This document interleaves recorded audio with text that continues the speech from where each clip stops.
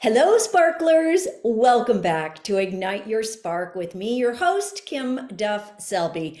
Thank you for joining me each and every week for transformation, for information, for self healing, because that seems to be the direction the universe wants me to go to help you all heal and transform and reach your highest potential. And today I have with me someone who does just that. Mm-hmm. His name is Marty Wuttke. And Marty started the Wuttke Infinite Potential Institute in Santa Barbara.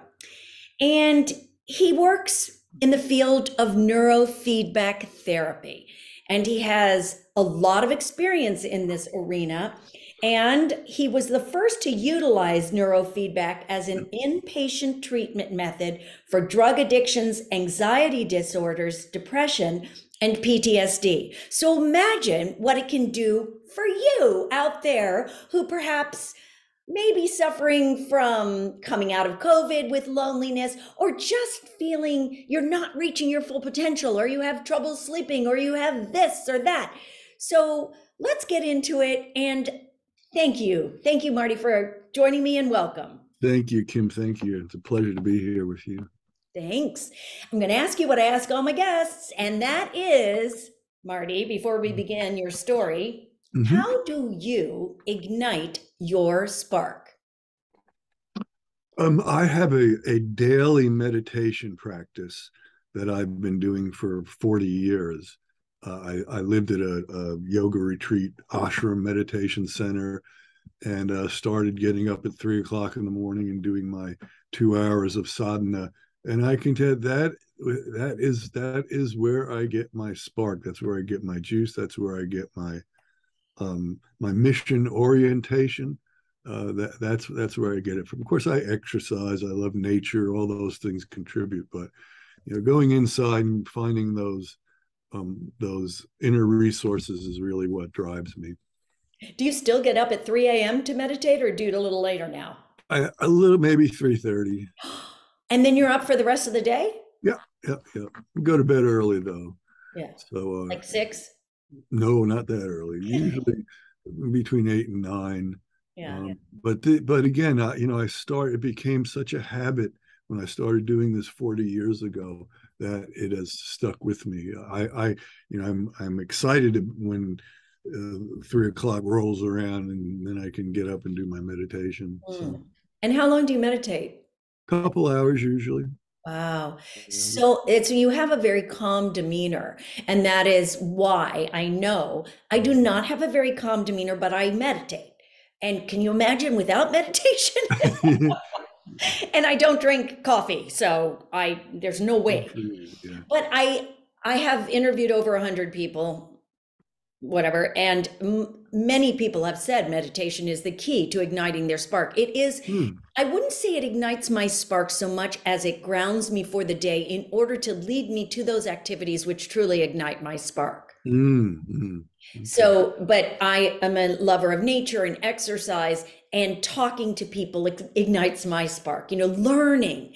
And you're going to teach us all about neurofeedback today. well, all, but I I don't want to spend too much time on your backstory, but I do think it is interesting how you got into, just briefly, how you got into neurofeedback and the therapy. And I know how you began as starting in the chiropractic field. Did you actually finish becoming a chiropractor? No, no. I, I switched gears about halfway through Chiropractic University and that's when I went to live at the uh, meditation retreat center, and um, within short order started working at the psychiatric hospital.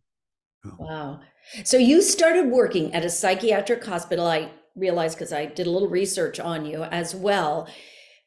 Because you wanted to help people, because you saw the power of meditation and the transformation yeah, and I I had a you know prior to that in my adolescence uh, I'd been uh, severely addicted to drugs mm. and went through uh, seven treatment programs and overdoses and all that uh, horrible stuff that addicts go through. And I had a spiritual awakening when I was 21 years old in 1978, and that um, made it very clear for me that I had a mission. I was here for a reason, and I and I uh, it took me a little while exploring to find out exactly how to apply that. But my goal was to assist other people in that self healing process that I underwent, and um, and that spent a few years, but I you know I I, I found it in short order finally. it's been a few years. We're the same age. yeah, okay, a few years. Just a couple, two, three. so you began. You you had a spiritual awakening, as so many people do, who feel they are called to do be of service in the world, mm-hmm. and getting leading meditation is what how you started that. And then what how did you get into neurofeedback? Okay good question. Um so I, I started teaching meditation at this institute as a volunteer mm. just to you know make it available to the patients there. And what happened was um the medical director of course he did his rounds every night and he started getting fairly phenomenal reports from people that they were you know their chronic pain was easing their cravings were going away their anxiety etc so he asked me he said would you uh, want to join our staff? But i realized this was you know this was 1983 i realized um, that i needed to bring more scientific validity and credibility if you know i was going to implement neurofeedback in the uh, uh, meditation. So I did uh, quite a bit of research on what happens in the meditator's body and more importantly in their brain as they meditate. And uh, it has to do with brain waves changing, brain structurally changing. And then I realized there was this thing called biofeedback, you know, brainwave biofeedback. And, uh, and there was some research with meditators. So I felt like that was the key. Uh, it was intuitive too. It wasn't that I studied something. I just I just knew it. And my spiritual mentor, my guru, my teacher said, "Go for it. This is very important." So um so I the hospital bought me the equipment and I started treating all the all the patients, 35 patients twice a day. And the results were profound. We only had them for 30 days, but you know, not only were they learning how to be calmer, but their again, their cravings, their anxieties, their post traumatic stress disorder, head injury, all these things started to respond to the therapy. So I, we knew we had something at that point. So I've heard of, I had heard of biofeedback as well, but can you explain how bio, you marry the two bio and neurotherapy? Yeah. Can you explain that to people who may be, okay, I know what meditation is, get that, may not be able to do it, but I get it. But isn't there equipment involved? Is this something you need to see someone in person and they hook up little goober things to you? Uh, if you can give me the Reader's Digest version sure. of what bioneurofeedback okay. is. Um, so, biofeedback, neurofeedback is actually a form of biofeedback. Biofeedback, we can use muscle tension, skin temperature, breathing, heart rate. You know, those are all physiologic mechanisms that we can give feedback about, and a person can learn to alter them neurofeedback we go directly to the source of everything the governor the brain. And the technology is very sophisticated and advanced now. So we actually use i don't have one here but we use these caps and mm-hmm. we we we do whole brain neurofeedback. So just like other uh, measures in your body like your blood sugar your um, uh, liver enzymes et cetera et cetera just just as all those measures have normal or ideal uh, uh, limits, um, so does the brain. So we've measured what we use is actually six thousand metrics that we look at, and we and we see if there is a problem anywhere, and if by problem is this outside of the norm and if it is it usually correlates with uh, with a specific problem from everything from anxiety to trauma to even a lot of people post concussion, um, anxiety disorders, autoimmune disorders. So we can actually see that in the brain and measure it. And then to really make it exciting, the computer again is very sophisticated. It will target those areas to teach the person, not it doesn't go in there and do anything, but targets those areas so we can teach the individual how to alter things there. And when that person learns how to alter things there, symptoms ameliorate. And this is, you know, look, the, the military caught on to this. So they have two uh, Army rehabilitation bases in Florida where they're using this extensively with the guys who have uh, head injury or post traumatic stress disorder. Lots of uh, athletes are using this now. An entire mm-hmm. soccer team in Italy used it, and then they won the World Cup years ago. So it's it's getting out there more and more. Um, but uh, you know, our approach still focuses on um, the individual with clinical issues. Okay. So this is something clearly you cannot do over Zoom. This is something that has to be done in person.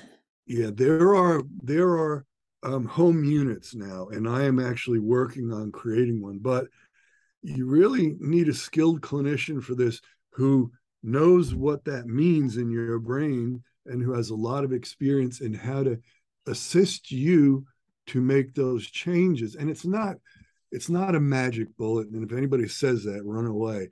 But it does help everything else work better. For instance, you know, we do is the book called The Body Keeps the Score by Bessel van der Kolk. Excellent book. And um, you know, it talks about that the body keeps the score of all the traumas, all the things that have happened. So oftentimes we have clients who we know need some kind of body work, whether it's somatic healing or uh, whatever. So, so neurofeedback rounds out many people's treatment programs. And when you said, I understand how you might need a skilled person because you are looking at a picture of the brain. Yeah. I wouldn't know. I have seen pictures. I've been to talks and I've seen medical doctors in combination with meditation and they show how certain parts of the brain change. Right. The telomeres. What are the telomeres? Yeah, that's for aging. Yeah. Yeah, I need to re- get those telomeres reversed. but but it, I've re- heard that also that meditation can reverse and change that. So if if the normal person is looking at a picture of your brain, I would have no idea what that is. So when you are looking at it, you say that through the computer you can determine what the issues are yeah the tech the technology is very advanced the what used to take us you know hours and hours to do now the computer can do in seconds it can pinpoint those areas of the brain associated with let's say depression uh-huh. trauma anxiety you know all the way down the line to dyslexia to to sleeplessness and it and it identifies those areas and then if the person says yes that's my problem then we can train that. And when I say train, it's just operant conditioning. It's so simple. The computer uh, gives a positive reward when the person begins to shift that activity, and you have to do it over and over again. Obviously, these these neural networks, however long they've been established for, you know, sometimes they're pretty stubborn, as any psychologist out there can tell you. But we ha- we can help that person's brain move out of these destructive or negative patterns in a relatively short period of time maybe 10 20 sessions so for for most issues you need to go in person but as i said there are home systems like muse is one out there. Um, it's not an advanced neurofeedback system but you know a lot of people like it. Um, and as i said there's more coming out down the road. So, can you explain a little bit just if you have someone who comes to you for, I don't know, choose something, sleeplessness, and you can tell in the brain through the computer, and then you confirm that with them. In sessions, what what kind of things do you do? Do you is it just explain how a session works I yeah it, so uh, the, the the person uh, will wear a cap an eeg cap it has 19 electrodes on it measures the brain in real time and then the pro- the computer is programmed to reward that person's brain when it begins to shift the patterns now again the technology is advanced now it's very simple we use uh, movies documentaries like netflix planet Earth, or anything really that's suitable. It's not over emotional. And if the person's brain is doing the right thing, it'll be full brightness. Huh. Okay. And then if it's not, it dims. So it's this intermittent brightening and dimming. And and most people say, I don't know what the heck I'm doing. What and then sure enough, after a couple of sessions, they're sleeping because their brain orients to those specific moments when the screen is bright. And when that's happening, it means those those pathways in the brain are shifting or optimizing. So you are lit- I'm sorry. Mm-hmm. You are literally shifting by having them watch something?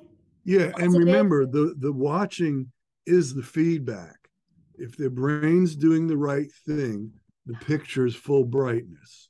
Oh, wow. If it's not, it dims we used to just have a great big dot in the screen. Yeah. Old technology. And if your brain was doing the right thing, it turned green. If it wasn't, it turned red. Um, and then we got fancy. We got all kinds of games, but we found that the discrete uh, videos worked the best. And you know, we get kids in here. We have them watch, uh, you know, uh, kids videos that they like, and they do they do excellent. We have autistic kids who respond very well. So um, it's and it's just it's feedback. It's a, it's feedback and training. It's not, you know, it's really not a treatment. Technically, it's a training process. And and really, there's no homework for the trainee. No, no. You know, I have a, a because I have an eclectic background. Um, I look at everything: nutrition, trauma, childhood, et cetera, et cetera. And you know, we may refer people out if we feel like they need to work on something outside of here, uh, or if they, uh, you know, if, if we we see that there are nutritional issues, we'll we may make suggestions and work on that as well.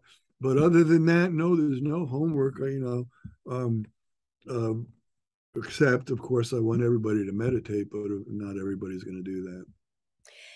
You can't convince people to meditate unless they're ready to do it exactly. Yeah. Do you still teach meditation to people? Yeah, yeah, yep, yeah. I've been that's that's what I've been doing the longest. Uh, we have a, a, big office here, almost three thousand square feet, and uh, there's a great big room in the back here that is uh, our meditation room, uh, and we can you know fit 20, 30 people in there, and we hold meditations every Tuesday evening from six to seven but I'm in the uh, Kriya Yoga meditation tradition. That's what I was born and raised in, and um, so I teach that type of meditation. What is it again? That Kriya Yoga. Kriya Yoga. Kriya Yoga. Do you remember uh, Paramhansa Yogananda wrote? Oh yeah, yeah, yeah. Auto, yeah, that I have it. Yeah, that was that. That was the system he brought to the United States. Okay. And okay. my mentor was a monk with him the last few years of his life. Ah, are you familiar with the Ananda Center up here? Oh yeah, Kriyananda. He Kriyananda was a brother, disciple of my guru, my teacher. Right. Interesting. Do you do those online? I'm just you my audience is worldwide. Uh, yes. I, w- I was I was doing long two hour meditations on Saturdays with people from around the world, and those were fun. But uh, we've kind of backed off for a while. We'll start doing those again though. If you were trying to, I like to leave my listeners with a little kind of something. If you were trying to explain to someone the ben I have two part question the benefits of meditation other than reversing aging and all the great stuff if there's an elevator pitch that you could tell us the benefit of meditation that's question 1 and then for those who feel they can't meditate do you have you know in quotes do you have a suggestion as to how they might begin? So, part one, why and the benefits. Part two, a cookie little how. Okay. Um, meditation is self-directed neuroplasticity.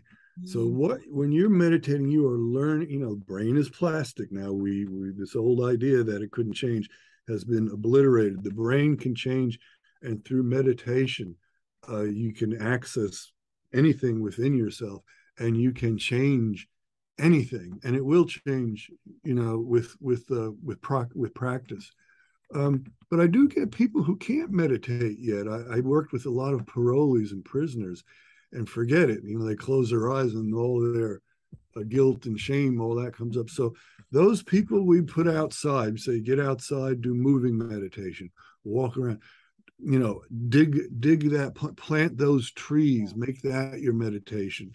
So people who who who really have a struggle when they sit and close their eyes and try to quiet themselves you know we, we have them do some kind of active form of meditation or moving meditation but i've never met anybody who eventually couldn't get into the sitting meditation. It's it's a practice. It takes time. The brain doesn't want to sit there and you know not think about anything. Are you kidding me? The brain wants as soon as we close our eyes we're all over the place. So um so i think that's that's the key. Moving meditation. Nature is a wonderful meditation. So you know you just find what what makes you feel good and use that.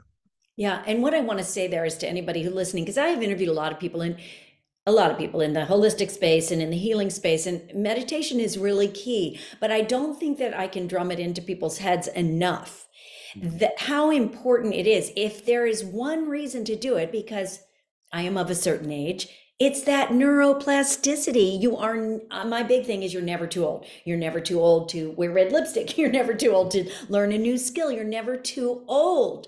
And why wouldn't you want to reverse the aging? Your brain can change. And we're hearing it from someone who's been in the neurofeedback industry for over 30 years and you know this is a fact and you look 20 so there you go you know mm-hmm. you can tell you've been meditating for a long time okay. but to me that is why wouldn't you want to do it and i get really annoyed by people who say well i just can't shut it off well believe me neither can i i know it's a mm-hmm. lot easier to scroll and netflix and chill than it is to think by yourself. But it is so important. And I love how you said, get out in nature, do a moving meditation. I'm not a big fan of cleaning. I do it because I have to, but sometimes even cleaning can, it's any repetitive motion can be a, a meditation. Yeah, yeah, yeah. It's taken me years to figure that out too. and what was my other question? Oh, how? Well, you said it already. You did. You said both because neuroplasticity, we want to change our brains. I mean, unless you're a perfect person, we all have something that we can improve upon. Yeah, yeah, yeah. Yeah. Yeah. Even well, uh, Neil, Neil yeah, deGrasse Tyson, I saw him do an interview a day or two ago, and he was making predictions. One prediction was that because of our discoveries in neuroscience about the brain, he's predicting by 2050, um, mental health will be in the past. We won't need psychiatrists and psychologists anymore, or the medications. Pretty interesting to hear him say that. That is interesting. Do you think that I don't think it will ever go away completely. I hope the medication does. But people may transition to, to this form of therapy instead of traditional talk therapy. There will be meditation therapy, or perhaps there will be neurotherapy as more accessible because I'm sure it's not inexpensive and it's not something that necessarily your healthcare provider will be covering for you. Yeah, yeah. So it has to be. I think to be. there will be something, yeah. Yes, it has to be able to be mainstreamed so that more people can benefit from this. It has to be more accessible. And to my mind, that's what comes to mind when you say by 2015, when he says that, 2050, that I believe what you're saying is true, but I also believe that people who th- hear that and go but but that's that's my field how come my field yeah it's just going to morph and change it's going to morph bit. exactly yeah. exactly yeah, yeah. yeah. anything oh you've written a book too does uh what's the name of that book it's called the brain sutras uh, keys to the um uh keys to consciousness to the revealed consciousness that's a that's a heavy duty book that that was written uh, more for my students. But uh, you know, it's on Amazon, and I get plenty of nice comments from people buying it all over the world. But um, it, it's pretty intense, and it's in the process of being re-edited now. Just so you know, because the uh, we had it edited, but found some major mistakes in it. But it's going to be re-edited. But you can still get it. Still makes sense. well, I do what I want to read. I liked this quote on your website from Deepak Chopra because we all love Deepak, right? Yeah. Marty is on the cutting edge of the movement to utilize technology to amplify the self healing process. So it is your belief that we can heal our own bodies. Absolutely, yeah. And many of my guests have that same theory, and everybody approaches it in a different way. There's biofeedback, there's neurotherapy, there's also meditation, and there are there's energy work. There's a lot of different ways to go about it. And the way you are doing it is going to speak to many people who really love that scientific Mm, background, that scientific, okay, yeah, this is proven. Okay, I like it. I can go with that. mhm, Yeah. Yeah. Well, before we close, is there anything else you would like to share with my listeners? Um, well, if if they're interested, you know, you just Google neurofeedback in my area and see who comes up. Uh, not all neurofeedback is the same. I Mm, have to give that caveat.